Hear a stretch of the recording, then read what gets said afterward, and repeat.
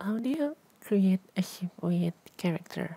Well, you make a ship that can tell a story just by looking at it. A ship with a character is a ship which clearly states its intent and purpose just by its mere presence.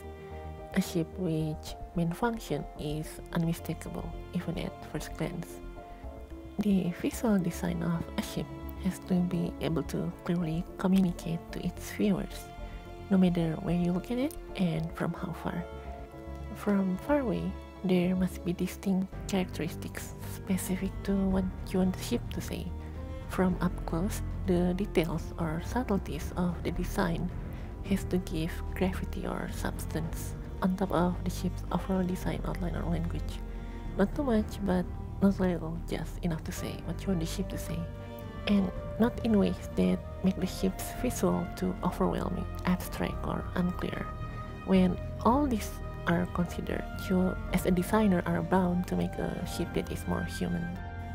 My Inventor's CX4 example is a command variant of my cruiser.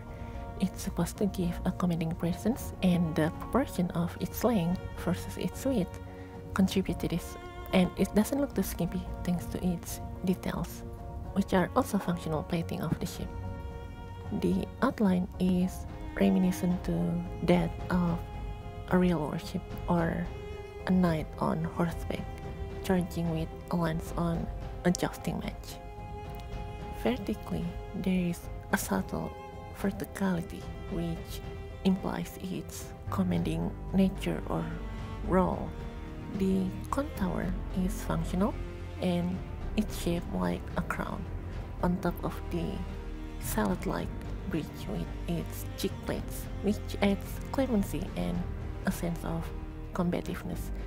It's like a crown, like the crown King Henry wore with his armor during the Battle of Agincourt. The bridge is very prominent and visible. It symbolizes courage and honor and openness and honesty. It says that the pilot or the crew of the ship value those things more than safety. Uh, it's like principles and values beyond mere practicality or conquest. The ship is two-tone, which makes it look shorter and more dynamic.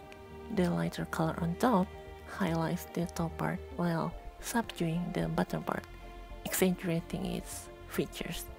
The turrets are the same color as the armor, so they blend in better and don't steal attention away from the details of the ship. And the color combination says functionality with a little bit of majesty. So, if you're struggling to come up with a design or adding a character to your ship, start by asking yourself, what do you want it to say and symbolize? And then you, you will come up with a truly beautiful design. Hey guys, thanks for watching the video.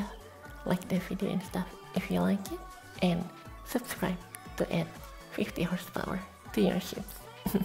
or to get notified of more Space Engine videos in the future.